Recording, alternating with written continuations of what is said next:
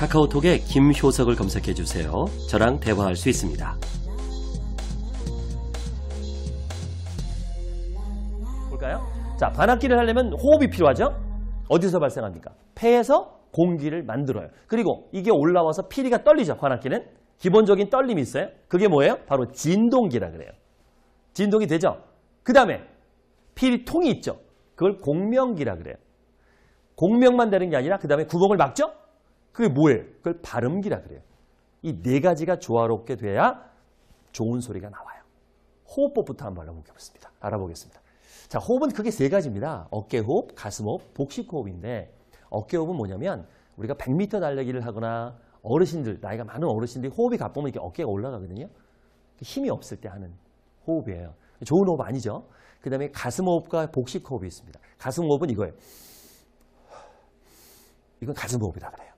복식 호흡은 횡격막을 내려서 이렇게 아랫배가 나오는 호흡을 복식 호흡이라 그래요. 그래서 구조를 보면 이렇습니다. 음. 횡격막이라는 게 폐와 장을 나누는 막인데 우리 장기 중에서 내 마음대로 할 수 있는 장기가 하나밖에 없습니다. 자, 심장 내 마음대로 할 수 있어요? 심장 5초만 멈춰봐. 소화하지 마세요. 간을 좀 내려볼까? 12지장을 좀 뒤집으면 안 돼. 이게 이걸 자율신경이라 그래서 안 돼. 폐는 돼요. 그죠? 숨을 참을 수 있죠? 근데 더 재밌는 건 폐가 움직이는 게 아니죠. 뭐, 뭐가 움직이는 거예요? 횡격막이 움직이는 거예요. 횡격막이. 이게 근육이에요. 이걸 이용해서 호흡법을 바꾸는데 복식호흡이란 숨을 들이마실 때 횡격막이 내려가는 거 올라가는 거. 자, 주사기를 예를 들어 볼게. 공기를 빨아들면 어떻게 돼? 횡격막이 내려가지, 내려가지. 그지? 그거를 많이 내리는 거 연습을 하면 폐활량이 늘어나겠죠? 그럼 흉식 호흡은 뭐예요? 횡격막은 그만두고 아, 가만히 있고 이렇게 가슴 쪽으로 이런 거예요. 그러면 갈비뼈가 있잖아. 폐활량이 적어요. 횡격막을 내리는 폐활량이 큰데 차이가 이렇습니다. 제가 횡격막을 내리는 복식 호흡을 하면 용량이 커요. 해볼게요. 노래를 불러볼게요. 오내 사랑 목련화야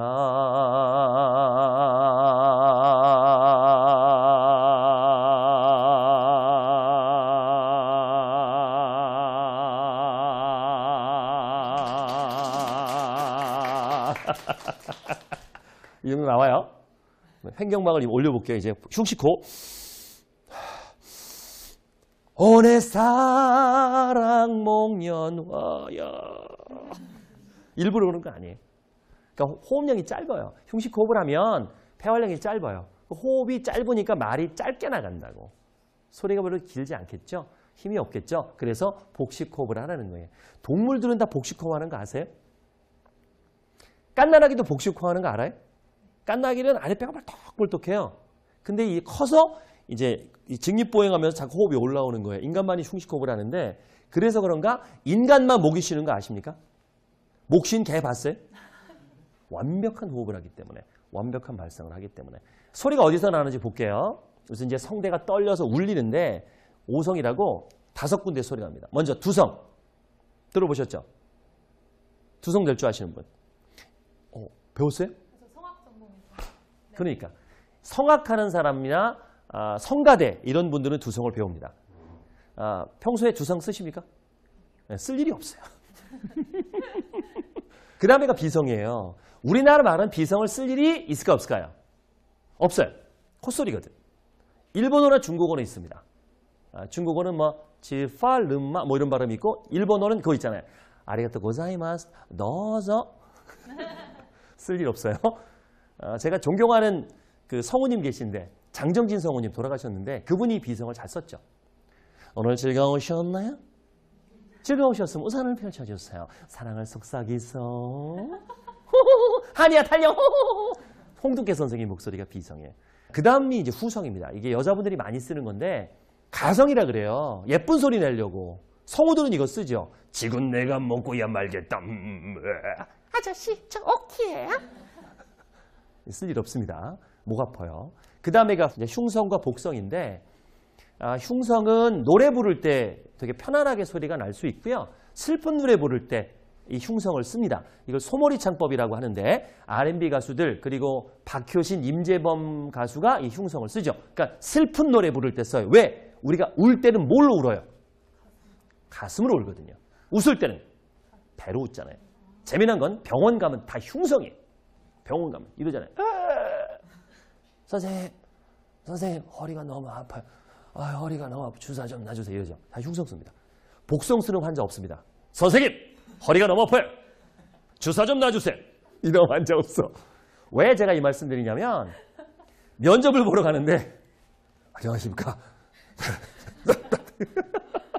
평소 발성을 그래서 자꾸 복성을 쓰려는 훈련. 복성은 별거 아니에요. 아랫배에 힘을 딱 주는 거예요. 웃을 때 어떻게 웃는다고?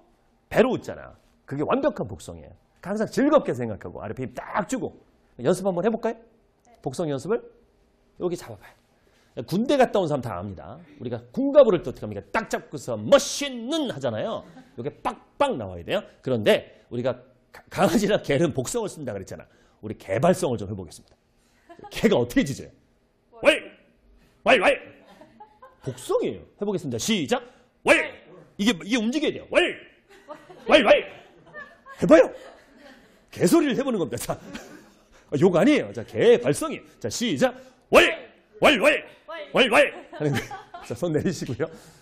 아니, 웃으라고 그러는 게 아니라, 아니, 진짜로 이렇게 연습을 합니다. 저희 학원에서. 자, 그 다음에가 이제 공명이에요. 공명이 굉장히 중요합니다. 여러분이 아는 연예인 중에 목소리 좋은 사람 떠올려 봐요. 이병헌, 한석규, 이선규, 아, 이성균 나왔어요.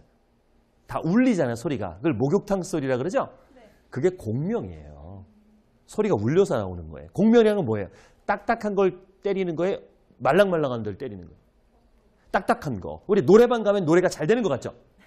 영상이 마음에 드셨다면 구독과 알림 눌러주세요. 생방송으로 진행하는 비공개 강의를 보실 수 있습니다.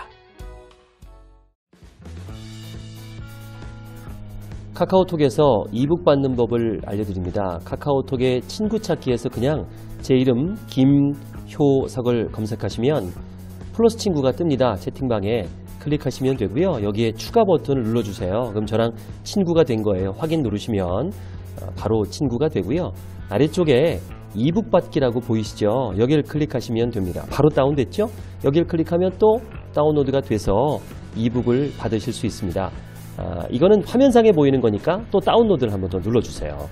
내 휴대폰에 들어와 있습니다. OBM 설정 마케팅 80페이지 오프닝 부분까지만인데요. 도움이 되실 겁니다. 앞으로 저랑 친구 되셨으니까 다양한 강좌나 또 자료들 보내드리겠습니다.